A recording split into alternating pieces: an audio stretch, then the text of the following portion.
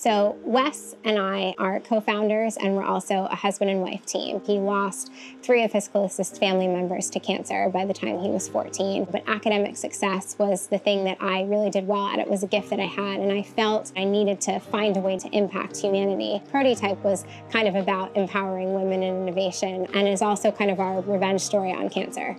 Our technology is super, super simple. So we do basically a chemical scan of your blood and the color and the intensity of the light generated indicates whether we predict that cancer is present. I think the existence of the Women in Innovation Award is really crucial because women are still underrepresented in science and technology. They're underrepresented in academia. It really puts women in a position where their achievements are, are highlighted and lauded, where we can get mentorship opportunities, get in front of the right people and investors. It's really pivotal to advancing the success of science and technology.